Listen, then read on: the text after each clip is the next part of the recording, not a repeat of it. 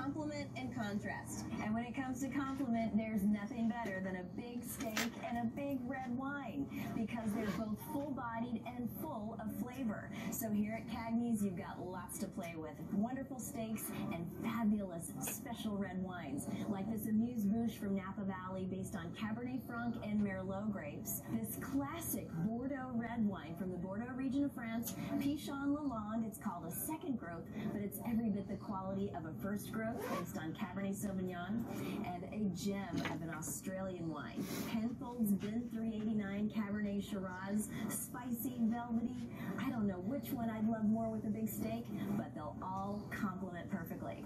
Now, what about complement and contrast? Or, like I did right here in the Italian restaurant, pair place with place. Now, I hope you've enjoyed your onboard wine lessons, and I hope I'll see you maybe at one of my wine classes on a future cruise. In fact, there's no better time to book your next vacation than right here on board. I hope to see you soon.